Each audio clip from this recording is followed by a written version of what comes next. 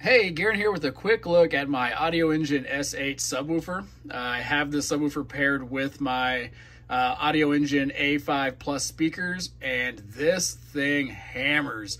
Uh, I've been very, very impressed with the quality of this subwoofer. Uh, it's something that I have installed in my work setup for video editing, uh, but it sounds amazing when I'm pumping music or to get those deep bassy rumbles when I'm watching movies in my office. Uh, using this in a professional capacity, and man, it just sounds awesome.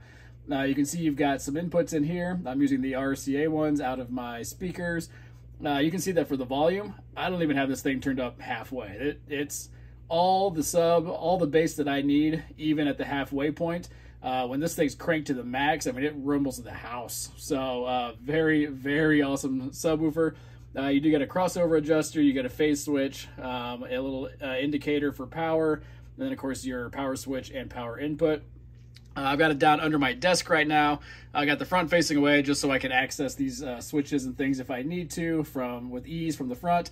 But it looks really cool. If I had a little different desk and office setup, I would totally display this on the outside so that I could enjoy the you know the cool sleek look of the uh, the profile of the subwoofer. But in terms of just the sound quality and the audio that I get out of it, man, this thing is awesome. I can highly recommend it. And if you're looking for a really kicking sub, uh, Audioengine makes a phenomenal one. This S8 is awesome, and I give this sub five stars.